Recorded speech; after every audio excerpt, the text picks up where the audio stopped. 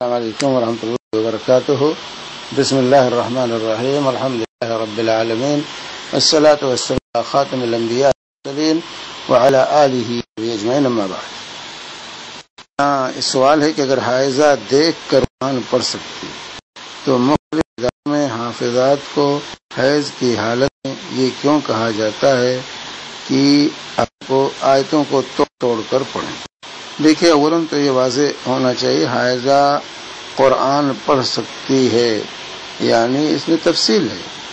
Mobile کے ذریعے، net کے ذریعے، تفسیر کتاب کے ذریعے کو ہاتھ میں لے کر زبانی یہ پڑھ سکتی ہے۔ پڑھ سکتی ہے یاد ہے، زبان پڑھے، یا جوال سے، موبائل سے قرآن ہے، اس سے پڑھے، نیٹ پر قرآن ہے وہاں وہاں تلاوت کرے یا جو ہے کی کتاب لے کر قرآن کی تلاوت کر سکتی ہے راج قول ہے راج قول ہے۔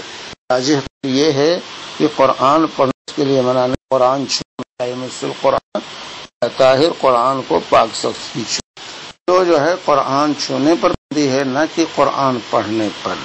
اور سلسلے میں جو روایتیں بیان کی جاتی ہیں کہ حائدہ عورتیں قرآن نہ پڑھیں، وہ روایتیں صحیح نہیں ہیں، ضعیف ہیں۔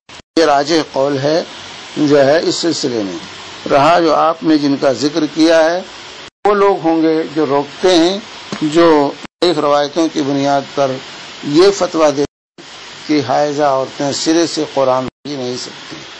نہ زبانی پڑھ سکتی، ایک سے پڑھ سکتی ہیں، نہ موبائل اور نیٹ سے پڑھ سکتی ہیں۔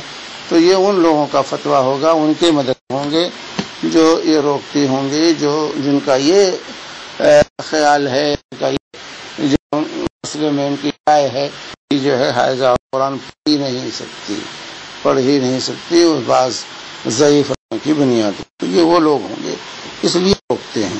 ورنہ راج قول اس میں یہی ہے حائضہ عورت کو، نفالی عورت کو عام کرنے سے روکنے کی کوئی روایت نہیں ہے۔ کوئی روایت صحیح نہیں، اس کا ثبوت نہیں ہے، صرف قرآن چھوئی بلکہ وہ جو موبائل کے ذریعے یا نیٹ کے ذریعے یا جو ہے تفسیر کی کتاب کے ذریعے قرآن کی تلاش یا زبان یاد ہے تو وہ کر سکتے ہیں، کیونکہ اس کی اہمیت کی کوئی دلیل نہیں ہے، صرف مصحف کو سادہ قرآن جو ہے اس کو ہاتھ نہ لگائے، اس کو ہاتھ نہ لگائے۔ ہاں کوئی مدرسہ ہے یا طا ہے اور مجبوری ہے، اس کو امتحان دے یا جو ہے اس طرح پڑھانا ضروری ہے، تو وہ بھی اگر اول تو مسافر ہوئے، ضرورت پڑ جائے تو ہاتھ میں دستانہ پہن کر یا دوسرے کپڑے لے کر کے جو ہے، جو قرآن کو بھی ہاتھ میں لے سکتے،